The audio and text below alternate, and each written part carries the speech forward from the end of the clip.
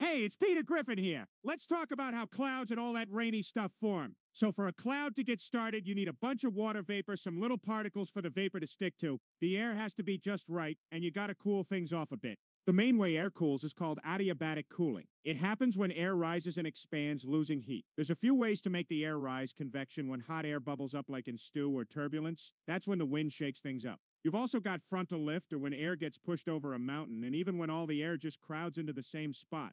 As air rises, it cools about 3 degrees Celsius for every thousand feet.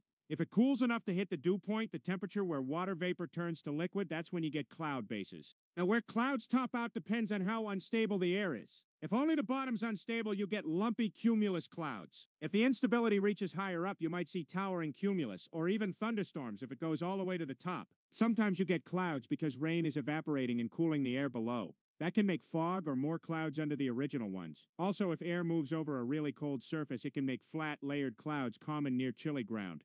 Let's talk about rain and other stuff falling from clouds. You got drizzle from flat, boring clouds, heavy rain when there's strong rising air, and different types like showers, intermittent or steady continuous rain. What you get depends on how strong the updrafts are, how much water is in the air, and if there are any ice crystals up there. Clouds come in all shapes and sizes. High clouds are called cirro, middle ones are alto, and low are, well, just low. Some clouds pile up like mashed potatoes, those are cumulus. Others are flat and spread out called stratus. And if it's raining, that's a nimbus type.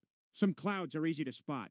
Cirrus look like curly horsetails up high. Cirrostratus make halos around the sun. Cirrocumulus are pebbly like a mackerel's skin. Altostratus cover the sky in a sheet, while altocumulus are patchy. The fancy altocumulus castellanus look like castles and mean the air's unstable.